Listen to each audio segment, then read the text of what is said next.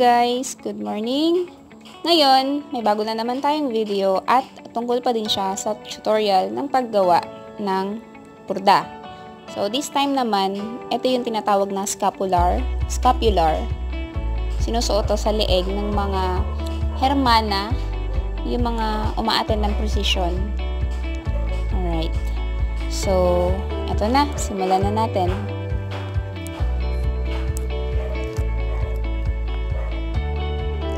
Okay.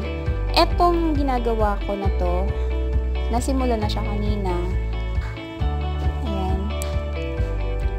So, ito yung pinakang pattern. Ito yung tinatawag na tracing at ito naman yung tela niya. So, iyan. Makikita natin ito. Siya yung magiging pattern or shape niyan kapag natapos na tong ginagawa natin ngayon. Dahil naumpisahan ko na siya, papakita ko na lang sa inyo kung paano nakakabit. Yung, ito, ito yung tinatawag na karton or cardboard. Ito yan. Mabibili to sa, sa Divisoria nabibili to eh. Cardboard lang. Sensya na makalat. Ayan. Um, magkano ba isa nito? Siguro, isa nito, 15 pesos. Pag sa Divisoria. Meron din naman sa Pandayan or mga school supplies hanap lang kayo doon ng cardboard. Alam na nila yon. May ano din to, may may iba't ibang kapal din. May manipis, medyo manipis, medyo makapal, and this one, ayan, sakto lang yung kapal niya. Kaya lang, kapag ka ganito naman siya kanipis, dinodoble namin yung uh, karton para naka, naka-alsa talaga siya or naka-emboss talaga. Ito na nga. Ang pinakamahirap lang na part dito, itong pagbuburda or paggugupit ng mga maliliit. Kasi, kung pagkukumparahin natin, mas mahirap gawin itong maliliit. Matagal kasi ito eh, mabilis. Anyway, sabi ko nga, kung ipagkukumpara natin, alin ang mas mahirap gawin? Etong maliliit. Bakit? Kasi, sa sobrang liit niya, napaka mabusisi niyang gawin.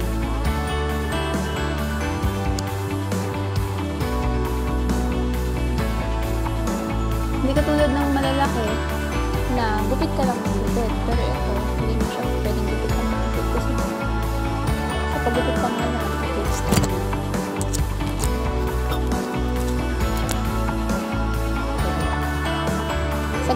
sa sabi ko nga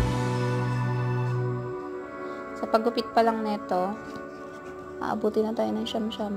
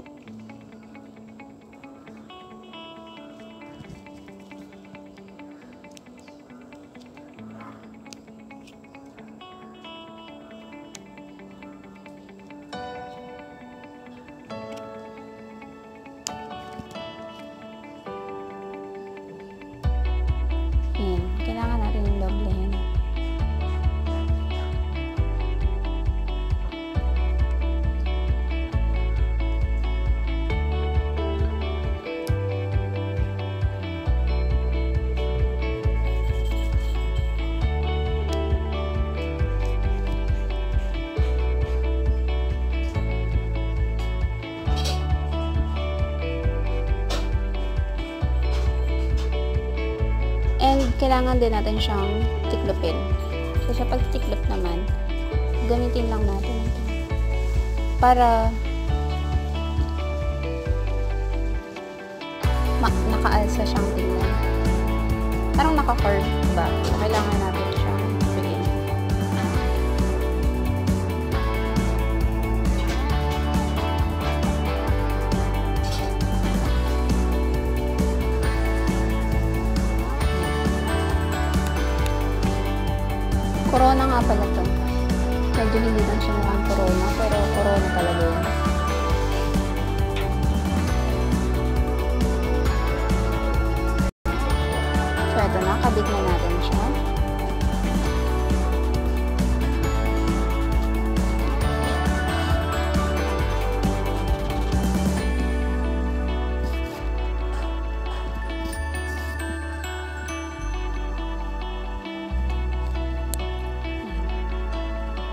Ang burda pala nito, guys, ay gold thread.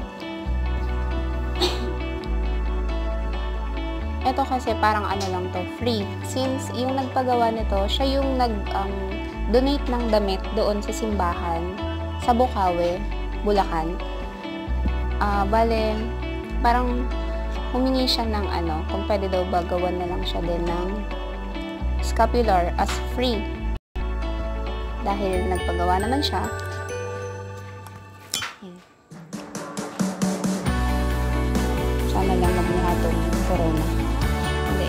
Etong symbol na to, ito yung tinatawag na Marian emblem. Emblem. Yan. So, letter M yan, tsaka may A.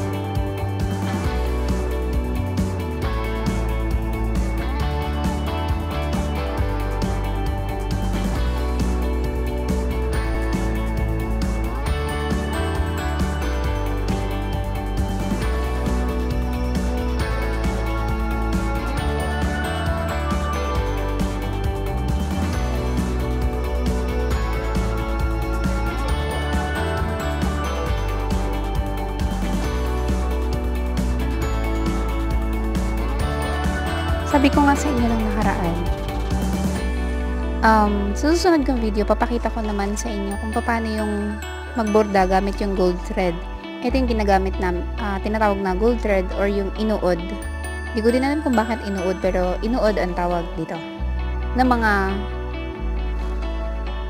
nagbuburda. So, maraming klase din tong inuod. Ito. And, ito naman yung isa, medyo gold naman yung kulay niya. This one. Okay. So, simulan na natin guys. Kailangan ko lang higpitan muna ito bago natin simulang magtahi. Para hindi or para matibay yung pattern natin na karton. Ayan.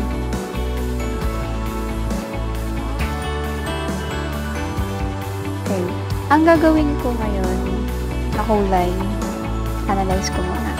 Siguro ito, itong medyo light na color na to, dito ko siya ilalagay. Siyempre, kung anong kulay dito, dapat balance yan. Parehas ng kulay dito, tsaka dito sa kabila. Tapos, dito, bala ko, ito na lang gold. Ilalagay ko. So, simulan ko muna siya dito sa gilid.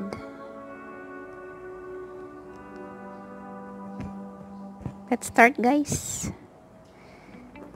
Pagpasensyahan nyo na din kung medyo magalaw yung camera since nakapatong lang to dito sa binubordahan ko. Hindi pa kasi dumadating talaga yung tripod na in-order ko. Sa Amazon pa yon Medyo mahal nga yung shipping niya. 900 pesos. For sure naman worth it naman yung pag-order ko dun. Sana. Okay. Ang paraan naman ng paggagawa nito, kita natin, since maliit ito, syempre dapat kung gano'ng kaliit yung karton, ganun din yung haba nito. Kailangan sakto dito na matatakpan niya talaga tong pattern na to. Okay, I'll show you.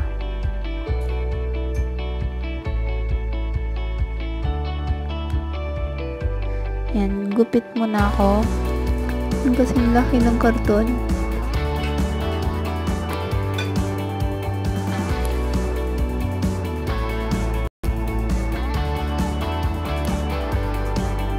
Estimate lang na ano, haba.